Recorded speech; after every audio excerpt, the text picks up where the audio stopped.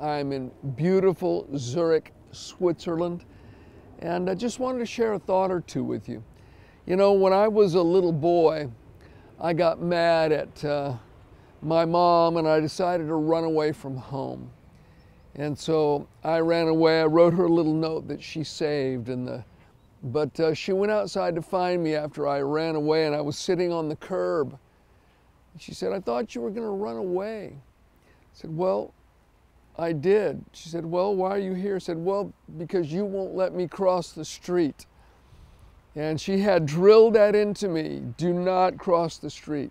I didn't understand why, as a little, you know, two and a half year old boy or three year old boy. I just thought it was mean for her to say, You can't cross the street. But she knew that it was dangerous for a little boy to try and cross the street by himself actually could have cost me my life. I didn't have that concept. I just thought, you're just mean.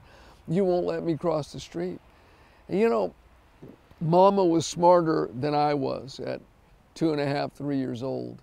And you know what? One of the greatest lessons that I have ever learned in my life is that God is smarter than I am. And when He has, says something is out of bounds, we just need to be wise and say, okay, God, I'm going to live within the boundaries that you have set for me, and I'm not going to cross those boundary lines because He knows there's danger out there, there's things out there that can hurt us.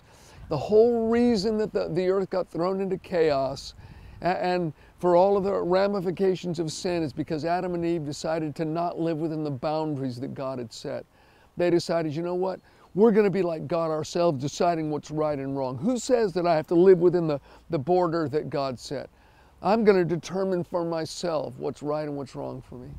Again, one of the best decisions you'll ever make in life is that God is wiser and He's smarter than you and He has your best interest at heart. So submit your sexuality to Him, submit your finances to Him, submit your family to Him, and live life His way. You'll be blessed if you do.